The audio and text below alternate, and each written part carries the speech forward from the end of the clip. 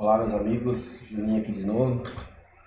Eu queria fazer um vídeo mais focado em tempos gráficos.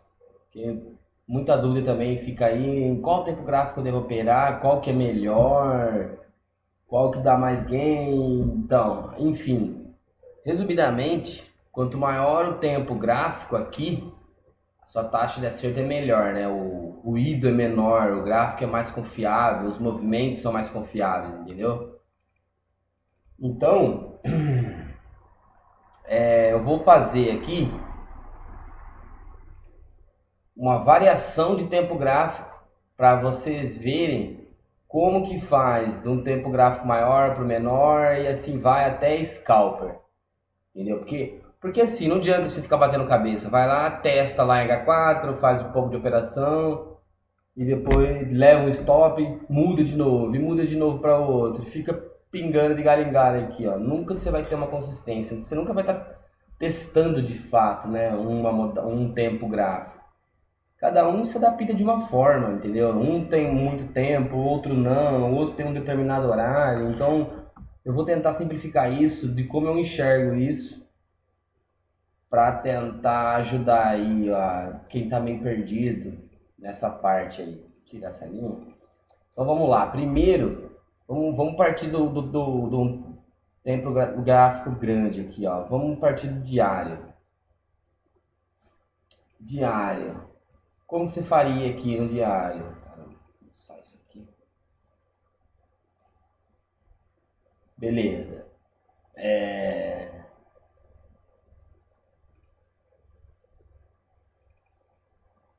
Não tira essa média daqui, depois eu tiro. Enfim, vamos procurar aqui, vamos traçar aqui no diário. É, hoje é sexta-feira, vamos fazer os estudos aqui para iniciar a semana no domingo, semana de operação. Bom, aqui para mim é um topo. Vou tentar ser rápido, o vídeo não ficar muito grande, ok? E aqui para mim é um fundo, ok? Vou colocar na pontinha essa sombra. Como eu disse, né? Lembra no outro vídeo? Esses canais não é tão preciso, você, você traça aí um fundo, um topo bacana, que seja razoável, nem grande nem muito pequeno, médio, né? E projeta. Projeta ele para baixo para cima. Nós estamos no gráfico diário. Vamos fazer mais um swing isso aqui, né? Então você vai lá, você, opa,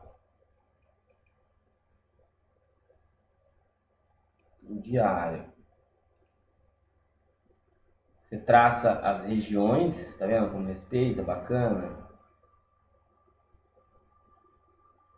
Aqui é meu alvo, né? Deixa eu tirar essa, essa linha, tirar mais abaixo. Então qual é que é aqui? Aqui ele tá vindo de uma pernadinha de alta, né? Então rompendo aqui é uma compra. Qual que é o meu meu alvo? Meu alvo é aqui nessa linha aqui. Então, rompendo esse nível aqui, dá uma compra aqui, com o alvo aqui. Beleza, dependendo como vir aqui, você vai fazendo aquela jogada de subciclo, né? Subciclo eu vou ensinar aqui no gráfico menor, para quem escolheu essa, esse tempo gráfico diário para H4. Você faz os traçados aqui em diário, que eu estou fazendo, né? Aqui seria um alvo para compra e aqui seria um alvo para venda, ok? Então, só para ilustrar legal, neste caso aqui, a nossa zona neutra está aqui, certo? Aqui está a nossa zona neutra, que está numa tendência de alta. Só rompendo a zona neutra que daria uma venda aqui, né? Então, beleza, ó. Tá traçadinho, legalzinho, em diário. O que, que você faz agora? Você fez o estudo em diário? Show de bola. Agora o que, que você faz? Você vai lá para H4. Em H4 você aguarda essas regiões aqui para você executar. Entendeu? Aí quando romper aqui em H4 que você executa, o traçado está feito. Quando a vela vem aqui nesse nível que rompeu esse nível, tasca compra, stop aqui embaixo, Stop técnico, abaixo da zona neutra aqui. E beleza. Preço, aí aqui o que, que, você faz? Aqui que é o tal do subciclo. Para você que não entendeu muito bem o subciclo, é mais ou menos assim. Ó. Beleza, você entrou numa compra. Aqui. O preço rompeu aqui, você está comprado aqui. O que, que você pode fazer aqui? O subciclo. Subciclo, você pega uma consolidação aqui nessa tendência para trás por exemplo, aqui eu estou vendo uma consolidaçãozinha bacana, um tamanhozinho legalzinho. Tá vendo? Aqui é uma consolidação num tempo gráfico menor. Então eu pego esse tamanho dessa consolidação e projeto a partir da minha ordem. Por exemplo, minha ordem está aqui, entendeu? Deixa eu pegar esse aqui inteiro, tá mais, opa, Tá melhorzinho aqui. Cara.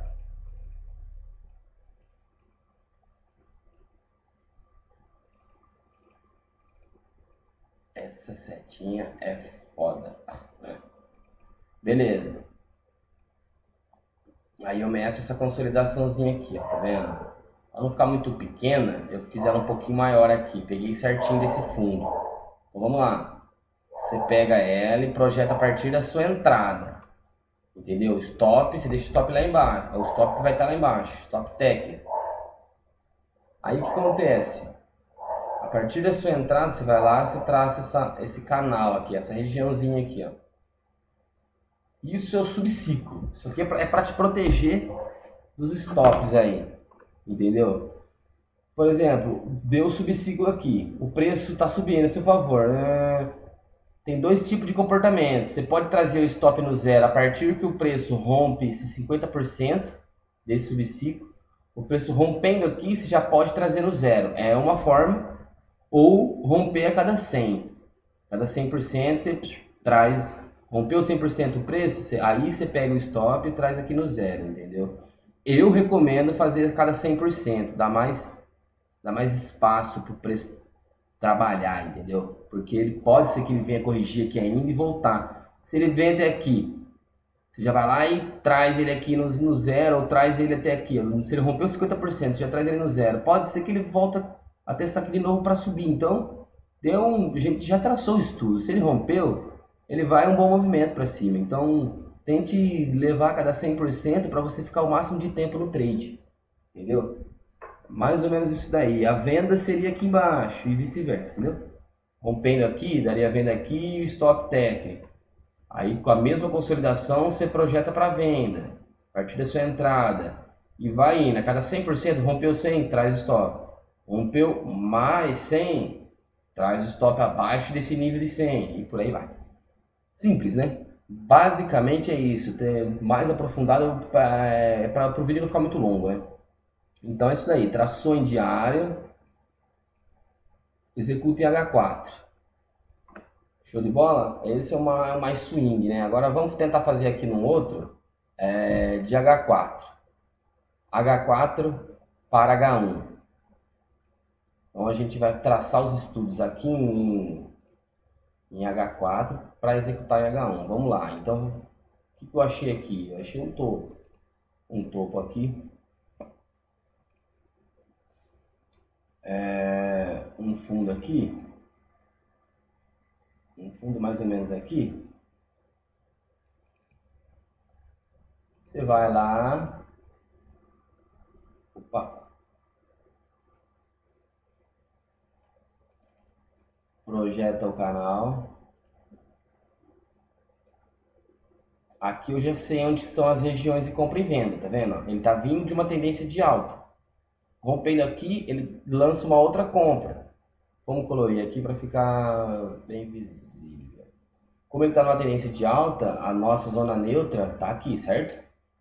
Um nível abaixo aqui do nível de, do, do canal de referência, certo? Então, aqui, rompendo aqui dá uma compra, rompendo aqui dá uma venda. Então, vamos projetar os alvos. Dois níveis, lembra? Ó, Ó, você faz todos esses estudos no tempo gráfico de estudo, nesse caso, né? Que está fazendo a variação de tempo gráfico, nós estamos fazendo aqui. Você sempre faz no gráfico maior. Traços alvo, alvo para venda.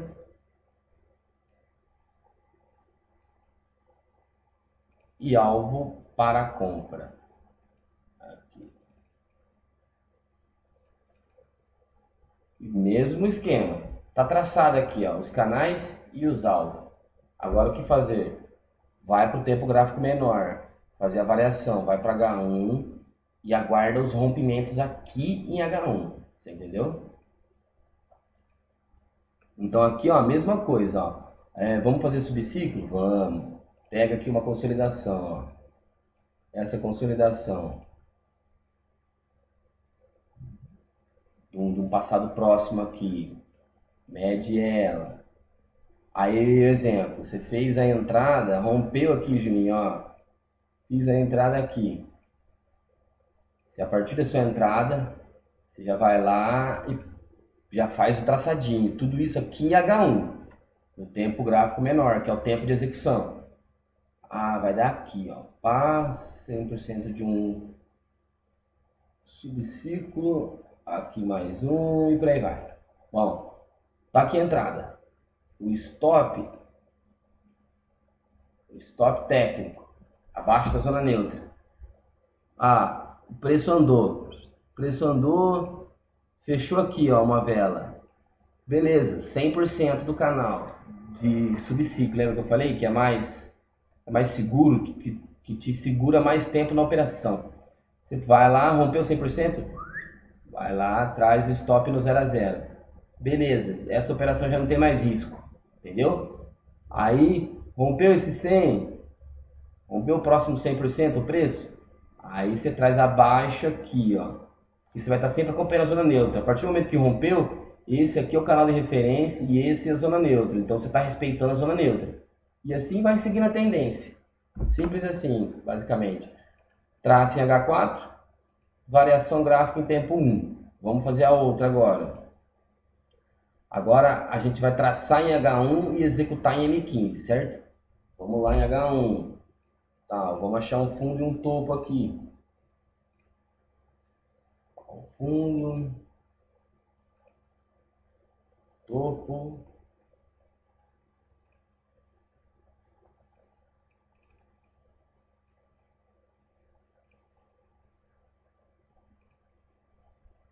Pronto, aqui eu já tenho minhas regiões de compra e venda certo?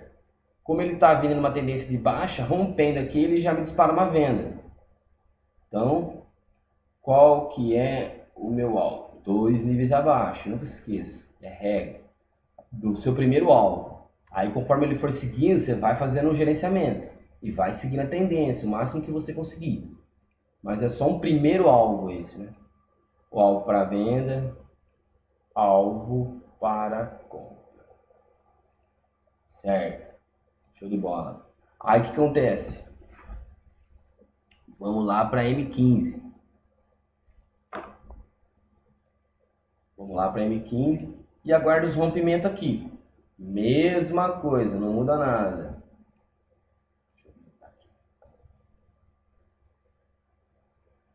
Mesma coisa aqui. Ah, rompeu aqui para baixo. Vai a favor da tendência. Pô, entrei numa venda que estamos em M15, aqui a gente executa. Confirmou a vela em M15, a gente entra, nesse caso, na variação de H1 para M15. M30 não usa, M15. Onde que está a nossa zona neutra aqui? A nossa zona neutra está aqui. Certo? É bom ir traçando para você não ficar perdido, tá? Ilustre, fica bem legalzinho de você bater o olho e ver. Pelo menos no início que você tá pegando jeito. Entrei aqui, meu stop vai estar tá aqui, abaixo da zona neutra. Stop. Ah, pô, vamos fazer subciclo aqui, cara. Vamos fazer subciclo. Procura uma consolidaçãozinha aqui, ó. ó. Tá vendo? Como não é uma. Eu peguei. Oh, caramba. Eu peguei um nível eu peguei um nível de, de oscilação aqui, uma, de consolidação, né? Aí você projeta ele lá no seu subciclo. Um pouco maiorzinho aqui, né? Vou esticar. Vai lá a partir da sua entrada, projeta seu subciclo, já deixa o estudo traçadinho aqui, bonitinho, ó. Depois que você executou a sua entrada.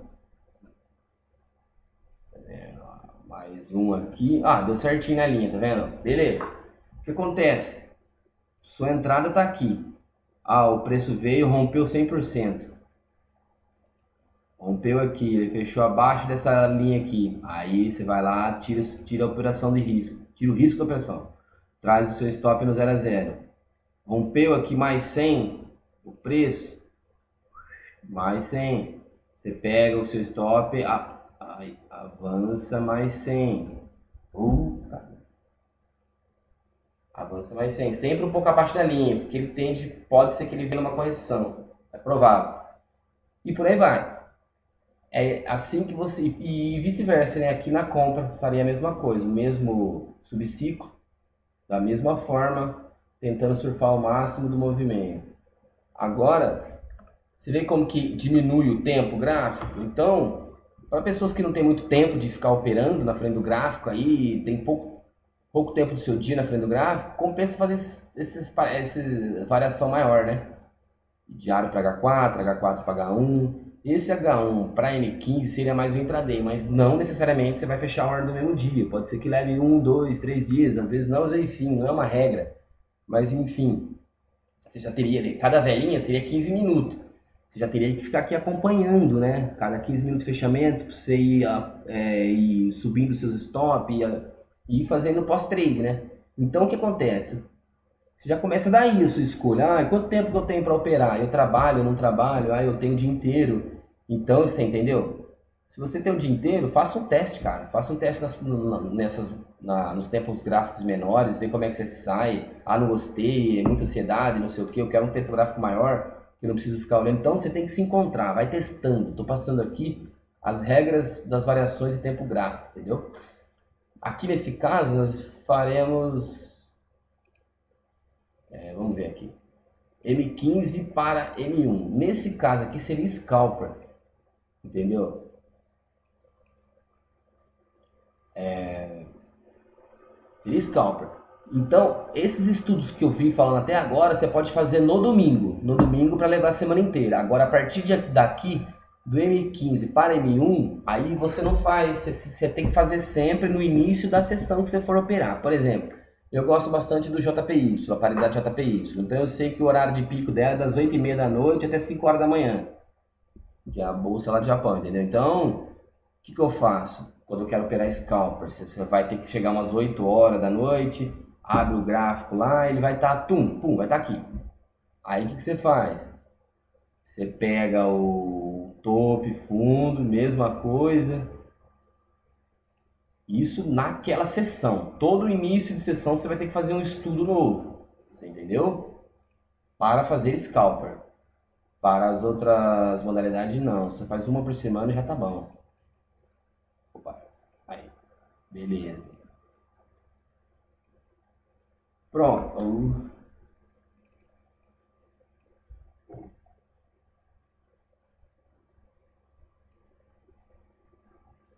Traçou os canais.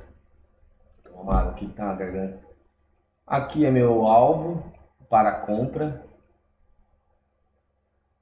E aqui é meu alvo para venda. Pau. Beleza? O que, você faz agora? Traçamos aqui ó, as regiões de compra e venda. Vamos traçar aqui, ó, como ele está numa baixa, aqui é bom fazer um traço uma linha aqui. Porque, concorda, ó, como o preço está caindo, a nossa zona neutra vai estar aqui. Aqui é a nossa zona neutra, certo? Que o preço está caindo. Então é o nível acima. Zona neutra. Se ele cai aqui, aqui dá venda. Dá uma venda buscando dois níveis.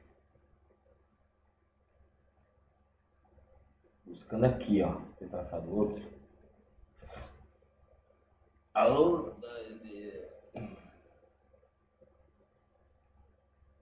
Aí, aí. Beleza. Aqui é o meu alvo para venda, certo?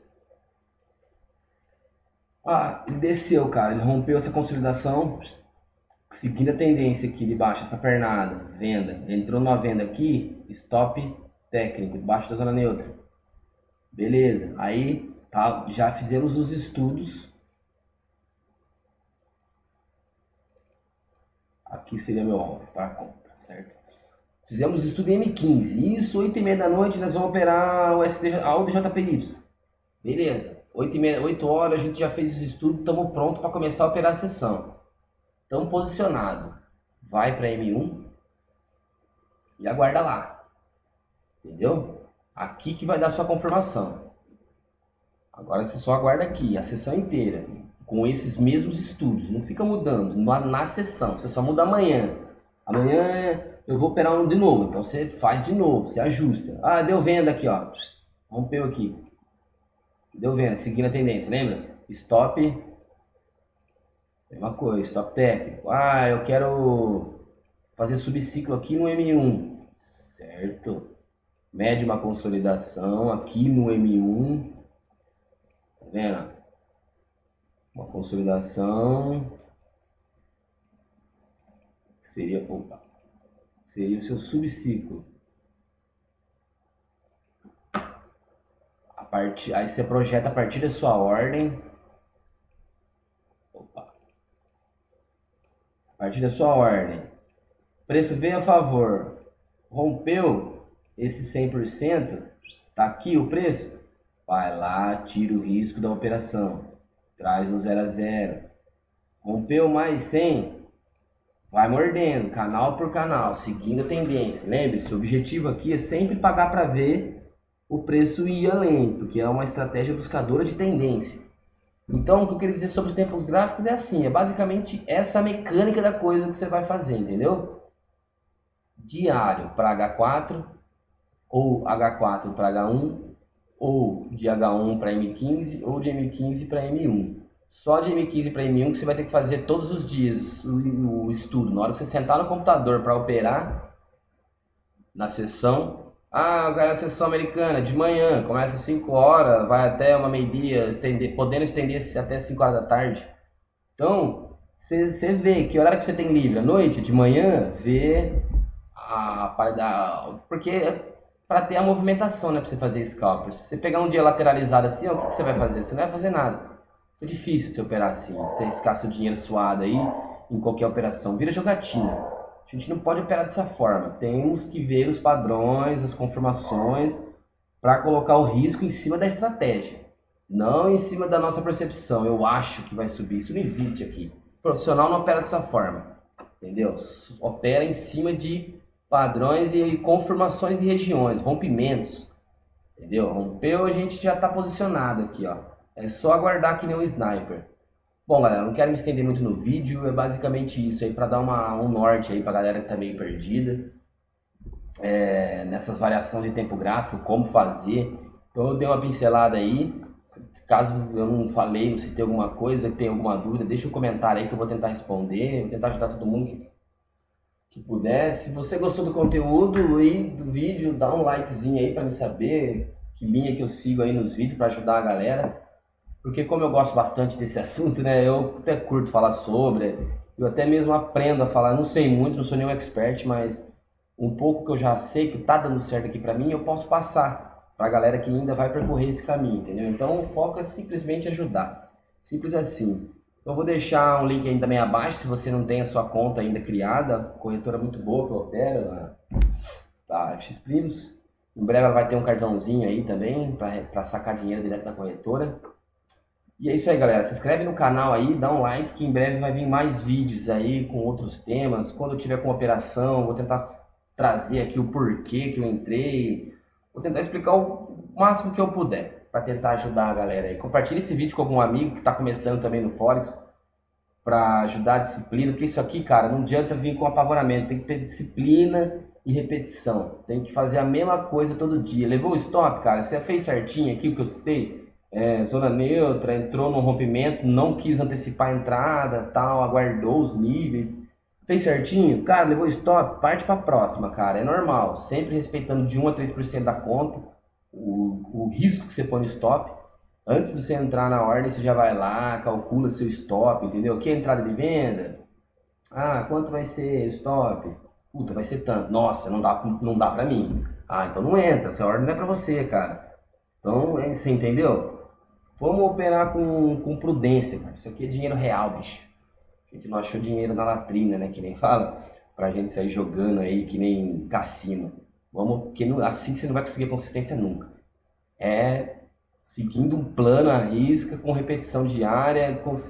A consistência vem com tempo e paciência. É isso aí, o que eu posso passar. E se inscreve aí, em breve verá mais vídeos. Eu desejo bons investimentos a todos aí, bons estudos. Abraço, galera.